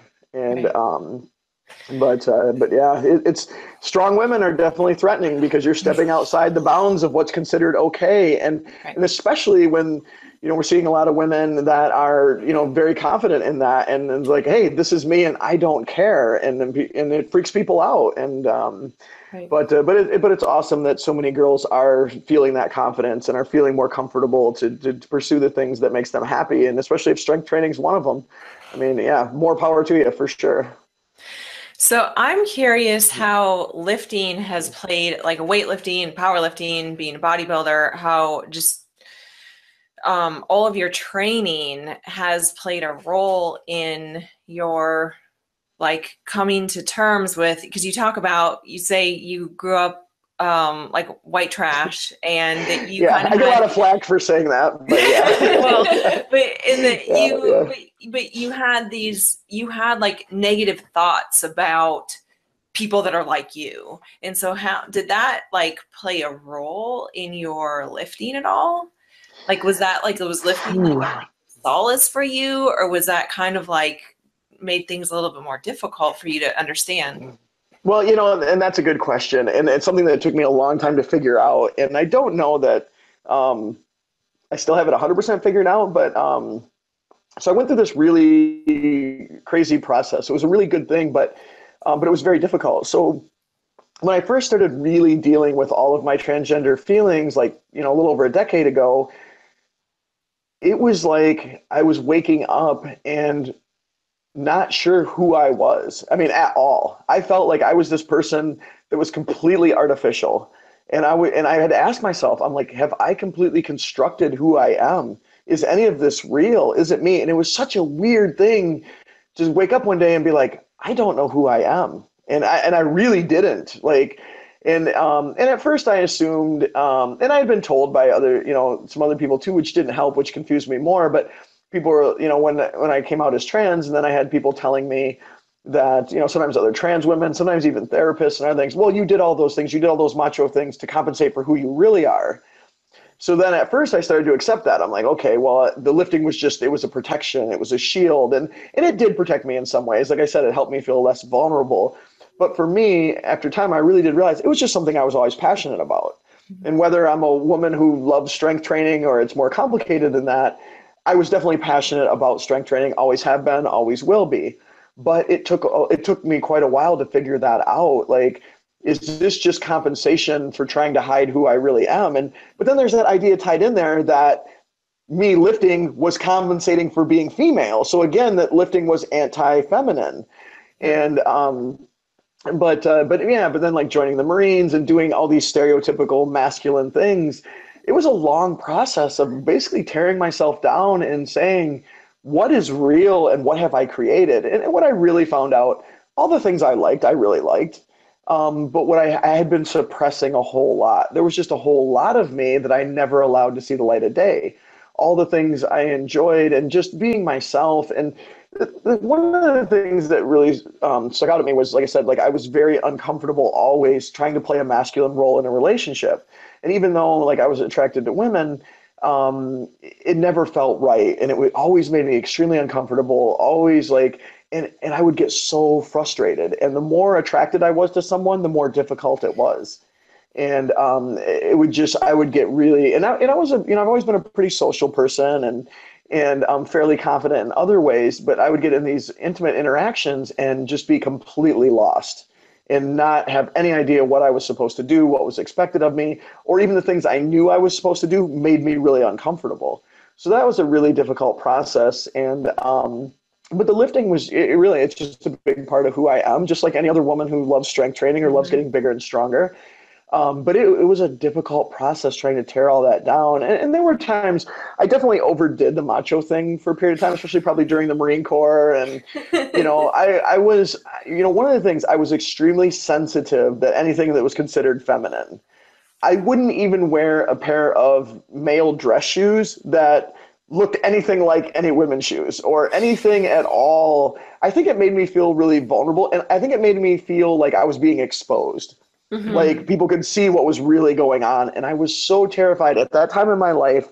I was so terrified that someone would find figure out I was trans or that you know that I had issues with my gender and all this stuff. And um, I mean, you know, back then when I grew up, um, and where I grew up, I was conditioned to believe that being gay was like the worst thing in the world. I mean, just absolutely horrible. And then, and then, so if, if being gay was that bad, what the heck were people going to think about being transgender? I mean, it was like on a whole other level. And so, like, even the sad thing is, even by the time I was five or six years old, I knew I couldn't tell my parents. I knew I couldn't tell people. I was terrified to death of what someone would think if they knew. And there were times I would do silly things and, um, and one time I, I, found a tube of lipstick and I snuck off in the woods, like way deep in the woods, just to try it on. And then I was like, you know, then I'm paranoid. Like I'm like, oh my god, is there somebody out here that could be seeing me right now? And I was totally freaking out about it. and um, but uh, it was just, you know, and I, I thought it was never out of my mind for five minutes of any day like I would I would get extremely uncomfortable just walking through a department store because I wanted to go over to the makeup. I wanted to go to the women's clothes and shoes and purses. And and I was always interested in those things. But I was terrified that if I did anything like that, I would somehow be outing myself and every, and I'd be exposed. And Halloween, oh my God, as a child, Halloween was torture for me. I hated Halloween and I quit going when I was 10 years old because every year I wanted to dress up like a princess or just even a little girl or anything like that. But I was too terrified to ask for it.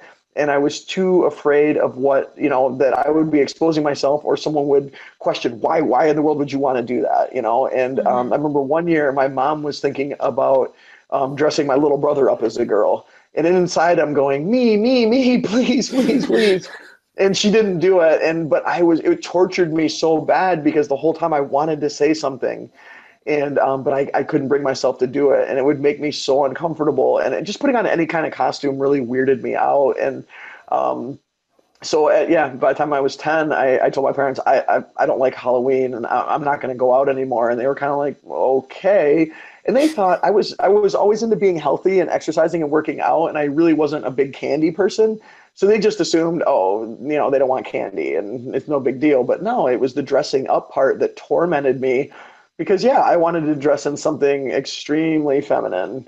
And um, and I, I couldn't handle that pressure, and I was too terrified to say anything. And looking back, I, I, unfortunately I was right to feel that way because if I had said, "Hey, mom, I want to be a princess," it'd been like, what? Like, and uh, and I'm sure I, I, you know, and if I had been honest about how I felt, I probably would have ended up in shock therapy or who knows what, you know. Oh God. Yeah, it was. It would not have been good. And even no. now, like, I mean, you probably saw it with the trailer. Like, my parents. I mean, they've known for quite a while. I told my mom, you know, ten years ago, but they they still struggle with it, you know, and I understand yeah. some of it. I mean, they're they're afraid of losing the person that they've known all their lives and they love but um, but you know, they're just small town people and old school, and and um, they just don't get it. They don't understand, and and I think it's hard too because like my dad, like in the documentary, there's a part my dad, they're talking to him and he says, you know, he just, he talks about how I've always been so macho and how that's all I did was all the sports and all those things. He never had any idea of all these things I was hiding inside. And, and I, and after watching that, I wanted to say to him, like, look, there's a whole bunch more there, but I never felt comfortable sharing that with you. And, and to be honest, I still don't. It, it's just, um, my dad still has yet to see me with makeup and stuff on. Um, I don't see him that often. I only see him a couple times a year. But um, it, it's just I know it's going to make him really uncomfortable, and it'll be awkward for me. And and at this point, I guess it just hasn't been worth it to me, or, ha- or maybe I don't know. I'm trying to give him more time or take it slower. With with my mom, I finally after years and years of um, you know wanting her to to see me as Janae, I, I, finally went and visited her last summer, and that that's shown in the documentary too. And it was it was hard. It was still awkward, and and um, you know she. I know my parents love me. I mean, I know they're not gonna like. Yeah. You know, never see me again or whatever but it, it's still but i also know they're not thrilled about it i know mm-hmm. that if they could snap their fingers and you know, make it all go away, they definitely would. And, and, that's hard. That's hard knowing that, you know, knowing that as a person that, um, but, uh, but it is what it is. And, and that's the pressure that society exerts upon people to, you know, not be okay with people being themselves. And especially when you're, you know, you're outside, um, you know, what's considered quote unquote normal, which again, I think is completely, nor, the, normal is an illusion. Um, yes. I, I, I, define normal as the self that we feel comfortable sharing with the rest of the world that we feel will be accepted. Because, I mean, let's be honest, like all that. of us are, are weird in our own ways. All of us have our yeah. things we hide, and we all have our things that we're afraid other people wouldn't accept or would think poorly of us if we showed. So we all do it. It's just my stuff was just maybe a, little bit more shocking than most. But um but we all do that. And and that's one thing i want everyone like you don't have to be trans. You don't have to you don't even have to be a woman that wants to be big and strong. It could be any way that you feel like you're different or you feel you don't feel comfortable being you. That, that's why i want people to understand you know what? Be you because you are in the end you're going to be so much more happier and you're going to live so much more of a full life you know, versus hiding all this stuff, trying to make other people happy that for something for a reason that's probably not even significant. Mm-hmm. But um, well, yeah. so tell us about your movie because um, it's mm-hmm. you have a documentary coming out at the Austin Film Festival really soon, and by the time but by the time everyone's listening to this, it will have already happened because it's happening super soon. Yep. So yep. tell Next, us about it. Okay, so the um, so documentary was filmed over the last two years of my life. Um, basically, from the time um, I was outed publicly, I um, it's, it's kind of funny how it all happened too, because um, the one of the videographers and actually one of the, the video guys from that helped film the documentary, he had um, done some freelance work and filmed me when I was still with Muscle Tech, and so I had met him and met him and his wife actually, and um, so then I, when I and this was actually probably only less than six months before I was outed. And then, so when I was outed, he heard about my story, you know, recognized me, and then contacted the director and said, "Hey, you should really look into this person." And so that's how it all got started. Got contacted by the director, and and um, you know, we discussed a lot of things. I wanted to know what you know his idea, his vision was, and mm-hmm. I was mm-hmm. very clear that like, look, I I don't, I'm not somebody who's worried about being like a celebrity or anything like that. I, what matters to me is I want if I'm going to tell my story I want I'm hoping to inspire people like me and educate people that don't understand. I said if we can do those two, two things, then I'm I'm totally on board. I said but if we can't do that and if this is going to be sensationalized or it's going to be shown in a negative light in any way, then I'm not interested at all. And I, I don't care what, you know, is being offered or any of that stuff. And and I and I, I really feel like the director's heart was in the right place and and um so yeah, so the film airs uh, next week at, at the Austin. It'll make its premiere at the Austin Film Festival, um, and it shows on Saturday the 28th, and then again on Monday the 30th of October. And um, but like you said, by the time this is posted, that'll already have happened, and it will air. It's it's got to finish making its run of the film festivals, and and I'm still waiting on a lot of details, so I don't know everything right now. Um, but it's got to complete the film festivals before it'll air on TV. There, it, it is going to air on the CBC network in Canada. Um, and there's other networks that are interested, but I'm still, as far as like showing it internationally or being online and things like that, and I'm, I'm still waiting to hear all the details on that. But of course, I'm hopeful that everyone that wants to see it will be able to see it at some point, and um, and hopefully sooner rather than later. And I will um, on my social media, I'll post about all those things as they become available to me. But but yeah, I'm excited and hopeful that, um, like I said, it, it inspires and educates people and and hopefully my story helps um, you know help people think about this differently helps fight some of the myths and some of the negative stuff that's thought about trans people that's not true. And and this is just a small snapshot. I mean it's really a last two year period and it really has a lot to do with me with struggling you know with transition whether or not to and then this idea of you know losing you know it does show me like and you'll notice in the film sometimes i'm bigger sometimes i'm smaller. Like i gain and lose weight a few times as i'm kind of struggling with all of this. And um but uh, but yeah, I, I, hope people like it. I hope they find it inspiring, and and um, you know, and I'm hoping to meet a lot of people through this, and and hopefully it'll open some doors for me to be more of a voice in the world about these kind of things. So if people want to watch the trailer, because we watched it and it was super good, and I'm like, I just Aww. I want to like a fly to Austin so I can see this movie ASAP. But it's transformerfilm.com. Is that what it is? Correct. Mm-hmm. Transformer. Yep, correct. And Yep, yep. And then I have the you know links to the posted on my um, my Instagram account has the link, and um, and then I did post. You guys probably saw I posted the trailer in three parts in on my mm-hmm. Instagram and Facebook, um, which is Janae Marie Kroc. Um, but uh, but yeah, transformerfilm.com is the official website, and it premieres uh, last weekend in October down in Austin. Okay, so we've already taken up so much of your time, and I feel like we could talk about this for forever. Um, I'm so sure. one final question, and then we'll mm-hmm. call that good for this round. And we, you know, doors open for another round because there's so I'd many other to. questions. Sure. So, final question: mm-hmm. What do you wish that Janae now knew ten years ago when you first started transitioning, when you first kind of accepted yourself and all that? What do you wish you knew? To not be so afraid of being myself. Um, Love it. That yeah, I mean it's I'm gonna get choked up now, but um, but yeah, that it'll turn out a lot better than I thought it would. Um, you know it, that it won't be easy, and there's definitely gonna be some bumps in the road, and and there'll be some things that'll be difficult, but um, but it'll definitely be worth it, and that um, yeah, I'll be way happier and um, yeah, but basically, just and I, I, would say that message for anyone. You know, don't be afraid to be who you are. And um, I, I try to be someone who doesn't think about regrets and not about what ifs because we can't change the past.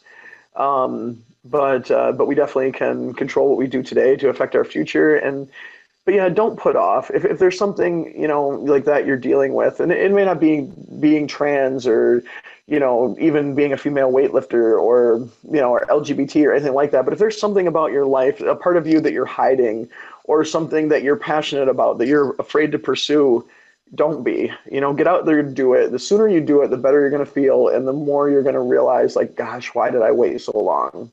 And um, and I think that applies to so many things for so many people. But it's just, you know, if you're passionate about something and, or if there's something about yourself that, you know, you're hiding, um, don't, um, you know, love who you are, be who you are. And, and like, you know, one thing I had said before, never let anyone else make you feel like there's something wrong with you because they don't understand you.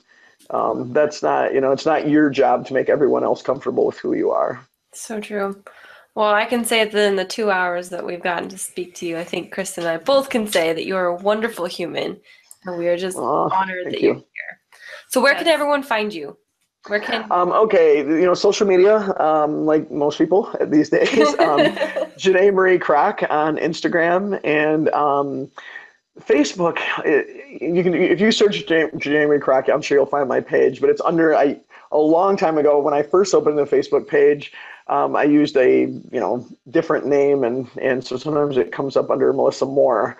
That was my alias for a short period of time. And uh, you say and, uh, Melissa uh, with an M or an A? Alyssa or uh, Melissa? Melissa, yeah, Melissa Moore was was was my early alias before um, you know before Janae came to life. But uh, but yeah, and then on Twitter too. But to be honest, I'm not real active on Twitter. I, I read other people's Twitter's stuff. Okay. I don't. Yeah, I'm more of an Instagram girl. Like I don't know, you know, like it's just and it's easier just to tag the other stuff and and um, but uh, I do have a new website in development and stuff too. But uh, I'll post more about that when all that's ready. And a lot of irons in the fire right now. Lots of lots of stuff going on, which is all exciting, but a little hectic, a little stressful too. But um, but uh, but yeah yeah no I'm, I'm really excited about the future. Like it's things are a little rough but that's you know that's how they always are before things get better. And and um but no it, it's a very exciting time. And I, I just feel very fortunate to be in the position I'm in and have the opportunities that I have. And and I just really hope to make the most of them. We love that's it. Awesome. and we'll make sure for everyone who's listening all that will be linked in the show notes. So go check it out Thank you so much for coming on. And I'm going to bug you probably in a few weeks for a part two because, like I said, there's so many things that we need to talk about. oh, for sure. And I would love to be, you know, thank you so much for having me on tonight. And I would love to be on as. As long as you guys want to listen to me, I'm I'm happy to keep talking. Oh so, yeah, I was um, just quiet this whole time, so I was like, just oh my god, just soaking it all in. So you're so inspiring. So I love I love what you're doing. So, so thank awesome. you so we'll stay much. in touch.